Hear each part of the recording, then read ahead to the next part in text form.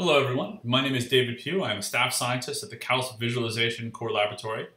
In this short webinar, I'm going to show you how to install Miniconda into your IBEX home directory. So the first thing that you're going to want to do is go ahead and log in to IBEX. So I've logged into IBEX in this terminal right over here. The next thing you're going to need to do is open a web browser and visit this URL. So this is the URL for the repository on GitHub that contains all of the uh, instructions and install and uninstall scripts that are required to kind of automate the process of installing Miniconda into your IBEX home directory. Okay, so the first thing that we're going to want to do is clone this repository into our home directory. So when you log into IBEX, you're automatically dumped into your home directory. Um, and we can run the uh, pwd command to see whether or not we are in fact in your user home directory. Now, so here I am in the IBEX training home directory. Your home directory will obviously have your username there. Um, and at this point, we can run uh, ls just to see the contents of your user directory. Now, your user home directory will probably have quite a lot of things there. Um, this training user uh, doesn't have really anything in its home directory, um, so don't be bothered if you have a whole bunch of stuff in your home directory that's obviously expected. So what we're going to do now is we're going to clone this repository from GitHub into our home directory. So we can come down here, and since we're already in the home directory, we can just copy the git clone command and paste it into our terminal, and then hit enter.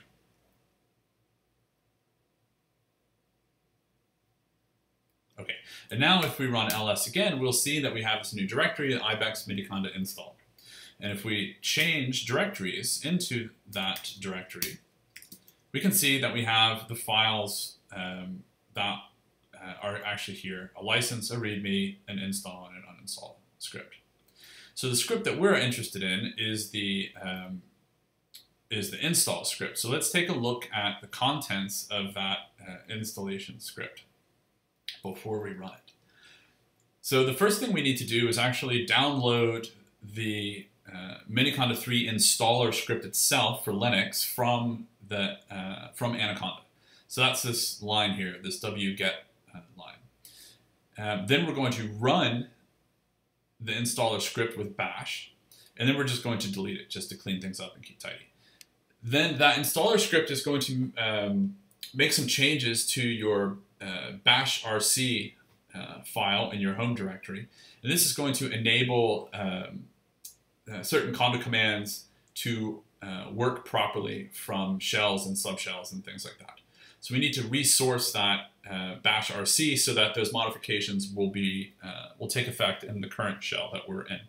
And then lastly, we're going to run this conda update command just to make sure that we have the most recent version of conda. Now the installer will grab the most recent version of Miniconda, but the conda tool itself um, sometimes has more recent versions available than the version that is packaged with the latest version of Miniconda. I know it's a bit confusing, but this last conda update command will just make sure that we have, in fact, the latest version of conda. Okay, so now that we know uh, what is in that uh, installer script, we can go ahead and run it. So we'll just do source install miniconda.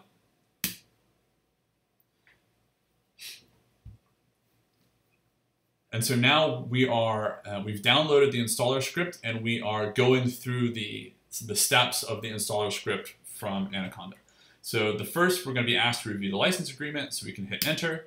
And then we can just press the space bar. So this is a standard three clause BSD license. The um, uh, Conda is an open source tool. So we can just kind of scan through here um, until we get to the end, and then we just type yes and hit enter.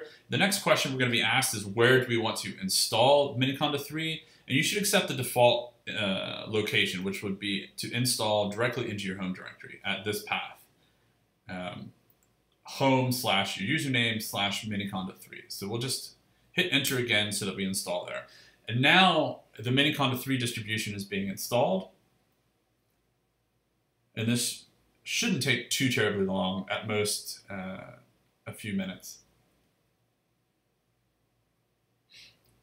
But it will depend to some degree on the uh, speed of the internet connection, which should be pretty good, um, and the um, the extent to which other people are uh, hitting the home directory servers with lots of I/O.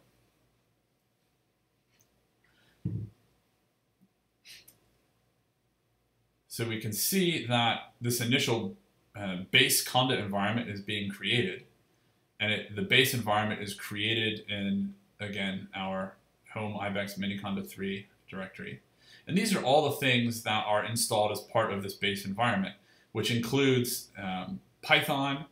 Uh, where is Python? So Python should be here. Yep, so we'll have Python 3.8.3, and it will also install pip. And then these other libraries are, um, are libraries that uh, Conda requires to interact with the operating system itself. So in this case, Linux. And then of course, I guess we'll have the Conda tool here, version 4.8.3. Okay, let's see if this is finished. Installed, installed. Okay, so once that base environment will be installed, you're asked if you want to initialize the um, Miniconda 3 by running conda init. And I highly recommend that you just type yes and hit enter.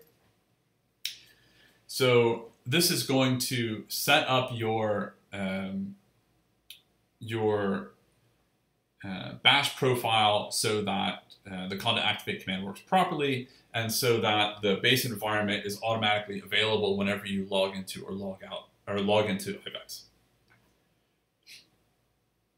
And now what is running is this update command.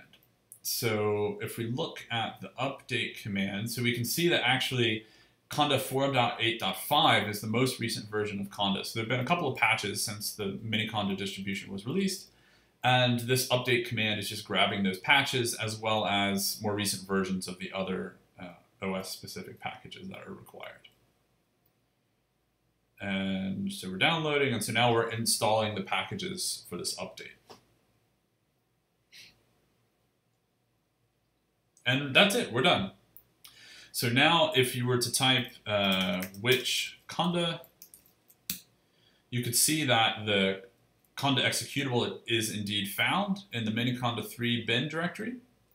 And then if we were to type conda dash dash version, we'll see that the conda version that we have is 4.8.5, which is as expected.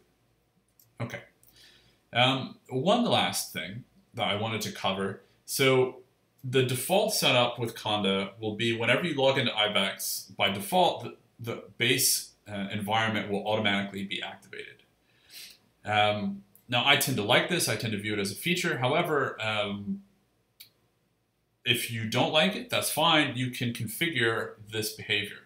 So in particular, um, there is a section in the README of the GitHub repo on deactivating Conda's base environment on login. And so basically there is this command here, which will um, create a .conda.rc configuration file, and it will set this auto-activate base to be false, and then that means whenever you log into um, to IBEX, this base environment will not automatically be activated. So if I run this command, let's and hit enter, then um, the now my conda configuration file has been changed, and we can actually uh, look at the conda RC file to see that that change has actually been reflected. So the next time I um, I log out and then log back into IBEX, then the base environment will no longer be active. But the Conda, uh, the Conda tool will be there and the Conda activate commands and everything will work normally. It's just that by default, the base environment will not be there. Of course, um, you can run this command again if you wanted to set it back to true. And then you can see that it has been set back to true. So you kind of decide how you want to uh, configure the base environment as you see fit.